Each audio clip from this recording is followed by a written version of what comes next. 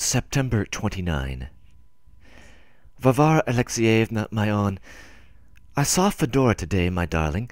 She says that you are to be married tomorrow, and that the day after you are setting off, and that Mr. Bykov is engaging horses already. I have told you about His Excellency already, my darling. Another thing, I have checked the bills from the shop in Gorohovoy. It is all correct, only the things are very dear. But why is Mr. Bykov angry with you? Well, may you be happy, Varenka. I am glad, yes, I shall be glad if you are happy. I should come to the church, my dear, but I've got lumbago. So I keep on about our letters. Who will carry them for us, my precious? Yes, you have been a good friend to Fedora, my own. You have done a good deed, my dear. You have done quite right. It's a good deed and God will bless you for every good deed. Good deeds never go unrewarded, and virtues will sooner or later be rewarded by the eternal justice of God. Varenka, I wanted to write to you a great deal. I could go on writing and writing every minute, every hour. I have one of your books still, Bielkin's Stories. I tell you what, Varenka, don't take it away. Make me a present of it, my darling.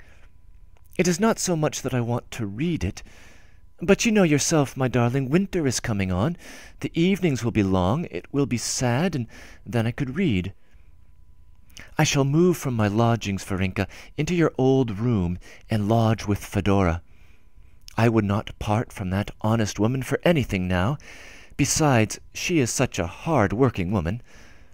I looked at your empty room carefully yesterday, your embroidery frame has remained untouched, just as it was with embroidery on it. I examined your needlework. There were all sorts of little scraps left there. You had begun winding thread on one of my letters. On the little table I found a piece of paper with the words, Dear Makar Alexievitch, I hasten, and that was all. Someone must have interrupted you at the most interesting place. In the corner, behind the screen, stands your little bed. Oh, my darling. Well, goodbye, goodbye. Send me some answer to this letter quickly. Makar Dyevushkin. Breaking in. Bielkin's stories, it will be remembered, is Pushkin's work. This may be Dostoevsky's way of reminding the reader of the station master and the character Samson Virin, whose fate is similar to Makar's own. End of comments.